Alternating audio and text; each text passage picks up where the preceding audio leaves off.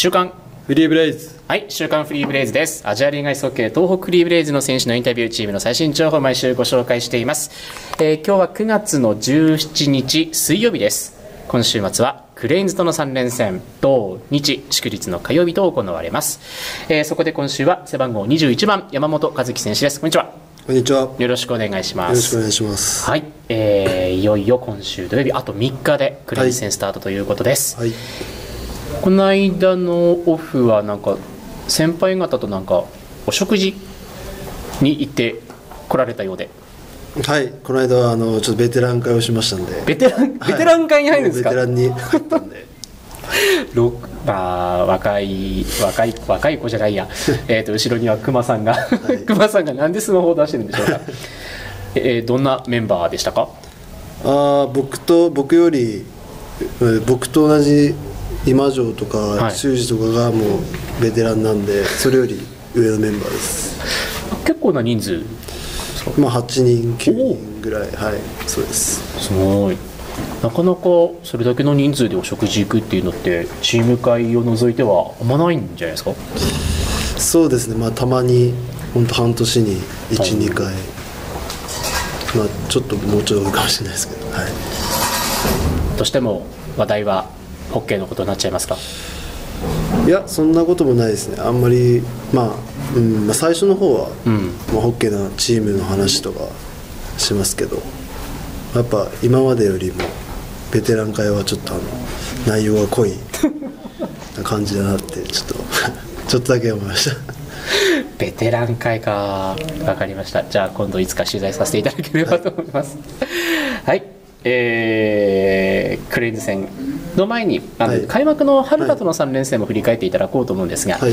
えー開幕戦は惜しくも逆転負けでしたがその後の2試合は取りました。春田戦の開幕戦3連戦振り返っていただけますか、まあまず第1戦目はまあ僕らの方が主導権握りながら、まあ、第3ピリオド、まあ、逆転負けしてしまったんですけどうんやっぱりああいう試合は取っていかないと、まあ、今後にやっぱりポイントが響いてくると思うんで、まあ、1戦目は残念でしたけど、まあ、2戦目3戦目は、えー我慢強く、まあ、3対2 1点差だったんですけど、まあ、うまく勝って勝ち点取れたんで。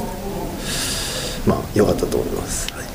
はいあの1試合目よりも2試合目そして2試合目よりも3試合目どんどんこう選手の動きもはい良くなってきたように、すいません素人目ながら見まし、見えましたしあと気迫もものすごかったように感じるんですがそうですね。いかがでしたか、はい。やっぱ第一戦目よりはどんどん試合重ねていくごとにやっぱりチームの成長してたし、まあ個々が自分のプレーを出してたんで、やっぱああいう勝ち方ができたと思います。うんはい。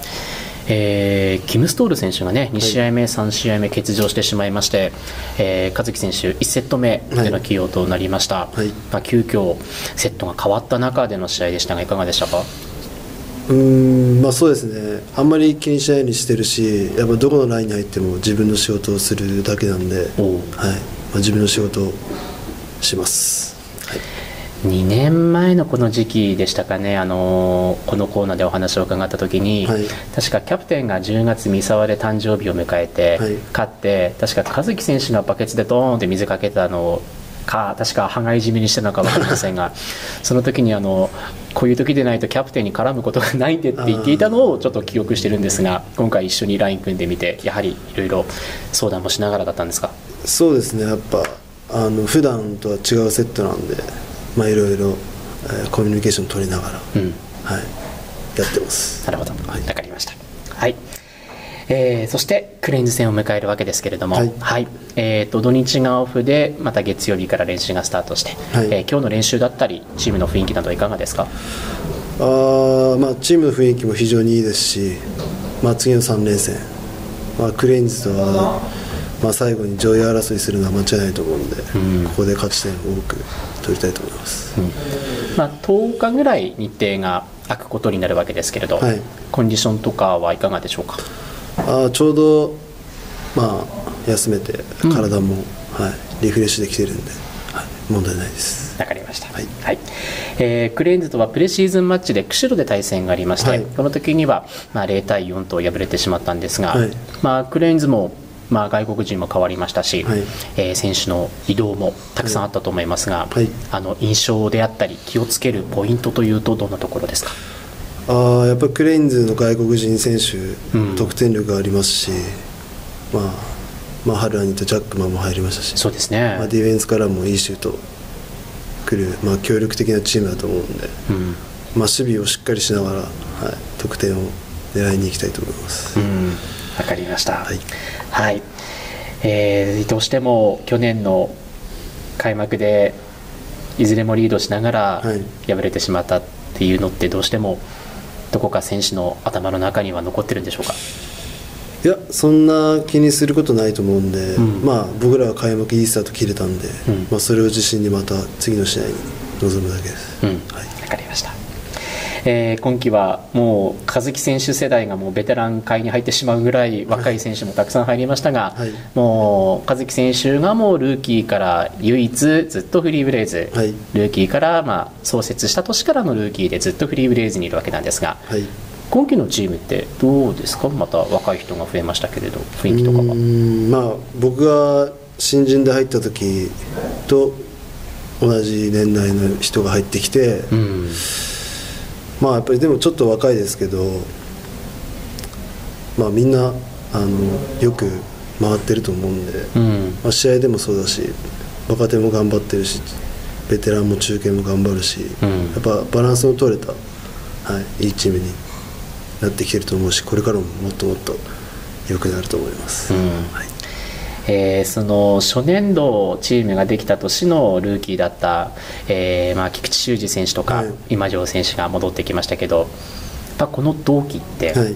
特別な存在ですか、うん、そうですね。やっぱり、まあ、同期がいるのはやっぱやりやすいし、うん。うん、まあちょっと少なくなっちゃったけど まあでもこの僕らが残ってる、まあ、最初の世代がもっともっとうん。これからも頑張っていけるように、はいしたいと思います、うん。はい、そうですね。あの頃はね本当ルーキーがチームの半分ぐらいで、はい。もう本当ね手探りという感じだったと思いますけれども、まあ、6年トップリーグでやっていろいろ何かあのどうでしょう考え方とか変わったところっていうのってあるんでしょうか、そうですね。やっぱりあの1年目ルーキーシーズン、まあ、2年目ぐらいまでは、まあ、あんまり自分の仕事が、まあ、よくわからない時っていうのがちょっとあった時もあったけど、まあ、今はもうちゃんと、まあ、自分がどうしなきゃいけないのかとかどういうチーム自分がプレーすることでチームにプラスになるのかっていうのは、まあ、しっかりあの分かってるつもりなんで、んはい、そこで、まあ、チームのプラスになるプレーをするだけです。コメントもなんかベテランっぽくなってきましたね。はい、あ別に年寄り扱いしてるわけではないので。はい。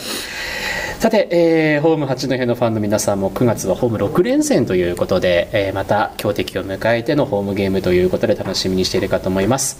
えーぜひ、えーファンの皆さんにこの3連戦に向けての意気込みを一言お願いします。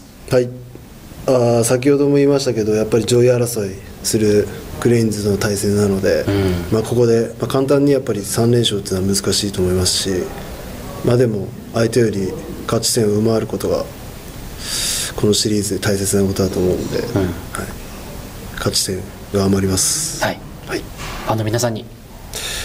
えー春田戦同様あの、粘り強い強さで、えー勝利しますんで、はい。